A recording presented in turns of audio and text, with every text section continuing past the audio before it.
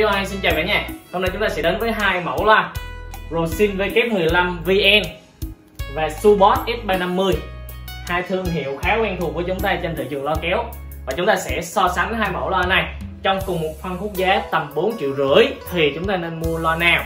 Rất là nhiều khách quý thắc mắc điều này. Đầu tiên về ngoại hình chúng ta sẽ thấy rằng là à, nó cũng đều là thùng gỗ sơn đen bên này sẽ có hai ờ, cái phiên bản là mặt lưới màu vàng và màu đen. Bên này chúng ta chỉ có một màu mặt lưới thôi ha.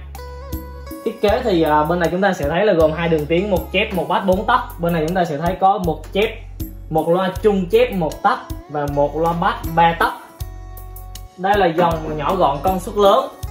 Hai mẫu loa này thì ờ, công suất của nó cũng na ná nhau ha nó ngang ngang nhau. À, tuy nhiên chúng ta sẽ thấy là à, phần bên này nhỏ gọn hơn thì nó tiện cho chúng ta việc di chuyển hơn à, bên này thì nó cồng kềnh hơn nhưng mà điểm ưu của nó là bass của nó thì sâu hơn.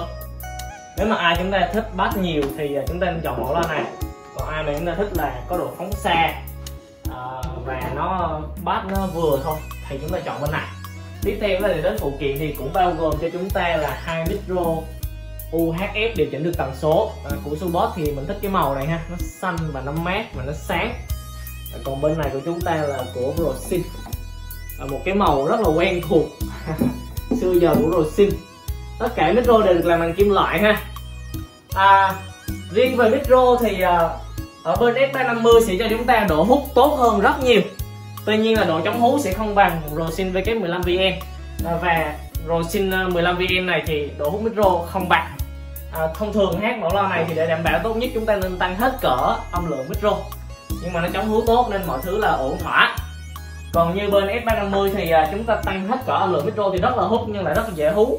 Cho nên là chúng ta tăng vừa thôi vừa đủ để chúng ta hát. Và nếu mà chúng ta muốn hát cái mức độ hút hết cỡ thì chúng ta nên chơi ngoài trời. Cái phần uh, âm thanh bên này thì nó nghiêng về cho chúng ta cái độ sáng của âm thanh nó chuyên lời ca nó nó chép nó trong trẻo. Mẫu 15 vn của chúng ta á thì uh, micro nghiêng về độ đều giải âm hơn. Nó đều cân bằng giữa bass và chép. Về phần bo mạch thì chúng ta sẽ thấy rằng là S350 đầy đủ hơn so với 15 vn ha. Đây chúng ta có thể xem qua. Đầu tiên là chúng ta sẽ thấy ở S350 chúng ta có nút repeat này và bao gồm hai cổng guitar hai cổng mic. Còn phía bên ờ, Rosin thì chúng ta chỉ thấy là gồm một cổng mic một cổng guitar thôi. Đây để mình xoay qua một xíu ha. Đó. Một cổng mic và một cổng guitar.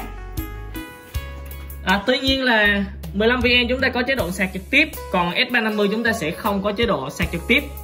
Bên 15VN thì cũng không có nút repeat luôn. Nên là nếu mà điều chỉnh riêng về à, cái độ ngâm vang thì 15VN sẽ không bằng S350 bây giờ mình sẽ đi vào à, thử micro để chúng ta xem cái chất âm là như thế nào nhé. À, cả hai hãng loa này đều có chế độ bảo hành hỗ trợ và hậu mãi rất là tốt cho người tiêu dùng nha. Nên là dù là người mua kể cả bên mình là người bán thì bên mình cũng cảm thấy rất là hài lòng đối với hai hãng loa này. Và mình sẽ mở micro lên là mình thử.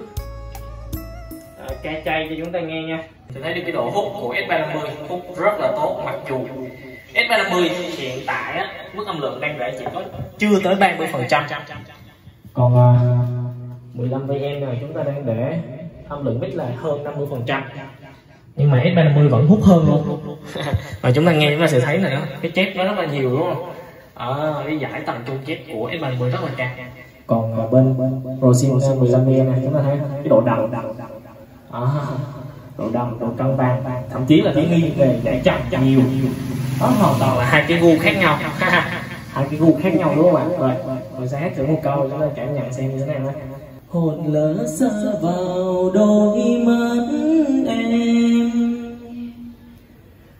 chiều đông xoa tóc ngồi bên rèm alo hai sáu. Trong hú rất là tốt ha. Hiện tại trên 50 phần trăm và đang đứng trước mặt luôn nè. Khoảng cách khoảng nửa mét thôi. Mà hát rất là thoải mái. Alo to hai sáu bảy ha. À, bây giờ mình sẽ thử bên uh, S350 S350 thì mình sẽ không dám đứng trước mặt đâu. Tại vì uh, với mức âm lượng như thế này là cái độ hút chúng ta thấy này nó quá hút đi. Nếu mà muốn đứng trước mặt chúng ta sẽ phải giảm xuống chắc 10 phần trăm cho tại nó quá hút đây mình sẽ giảm xuống này 15 phần trăm. 15 phần trăm. Đây 15 phần trăm thì đứng trước mặt, không vấn đề gì. Ok. Còn tăng nữa thì hút kinh lắm. 15 phần trăm mọi người thấy gần 20 cm mà nó hút này. Hồn lỡ xa vào đôi mắt em. Chiều đông xoa tóc ngồi bên rèm. Alo, hai sáu hai sáu ok, bây giờ chúng ta sẽ đến với phần tiếp nhạc của hai mẫu loa này để cùng so sánh một cách khách quan nhất nha.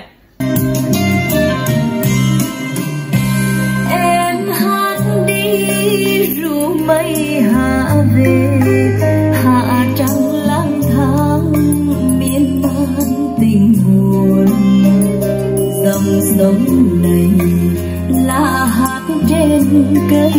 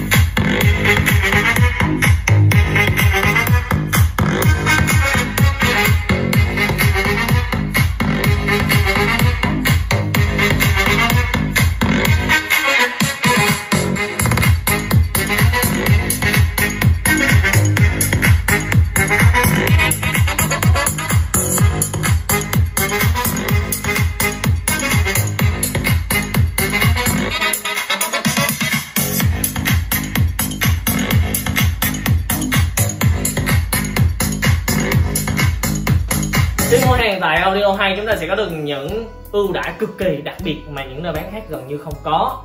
Đầu tiên đó là sản phẩm sẽ luôn được bao thu cũ đổi mới trọn đời cho chúng ta. Chúng ta mua về bất kỳ lúc nào chúng ta cảm thấy không hài lòng cứ mang đến hoặc là cảm muốn thấy muốn đổi thì mang đến Tâm Việt sẽ thu lại và đổi sản phẩm mới chúng ta sử dụng tiếp tục. Vấn đề thứ hai, sản phẩm tại Tâm Việt luôn luôn được kiểm tra và kiểm định nghiêm ngặt về cả ngoại hình lẫn chất lượng âm thanh nhằm hạn chế tối đa lỗi kỹ thuật của nhà sản xuất trước khi đưa đến tay khách hàng. Thứ ba là sản phẩm tại Tâm Việt sẽ bao đổi trong vòng 30 ngày mà không quan tâm lý do khách quý muốn đổi là gì, thích là đổi. Thứ tư, sản phẩm sẽ luôn được bảo hành đúng với thời hạn, nhiệt tình và vui vẻ kể cả trước và sau khi mua. Hết bảo hành vẫn hỗ trợ sửa chữa. Và cuối cùng sản phẩm tại Tâm Việt luôn luôn là hàng chính hãng. Nếu bất kỳ khách quý nào chứng minh được đây là sản phẩm hàng giả hàng nhái, Tâm Việt sẽ tặng ngay 20 triệu đồng tiền mặt cho chúng ta sử dụng luôn. Cảm ơn khách quý đã theo dõi và ủng hộ Audio 2. Đừng quên nhấn nút đăng ký kênh để cập nhật những video tuyệt vời sắp tới nhé. Bye bye, hẹn gặp lại truy cập bằng điện thoại, truy cập bằng máy tính, truy cập web chuyên gia, truy cập website đại diện uy tín.